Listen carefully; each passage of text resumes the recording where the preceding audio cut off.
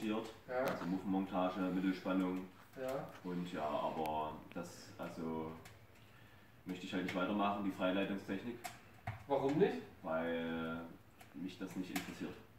Aber wenn, wenn Sie das nicht interessiert, warum sind Sie dann Elektriker geworden? Weil das gehört ja irgendwo dazu. Ja, es gibt ja ver- verschiedene, verschiedene, ähm, verschiedene Fachrichtungen ja in der Elektrizität Ja. oder Elektrik und deshalb würde ich mich gerne für die Schaltschrankbau Industrie oder wie man das nennt. Also das sage ich noch anders. Das gucke ich mal nach. Und Sie haben sich ja nach Ihrem, Ihrem Schulweg, wo waren Sie zur Schule?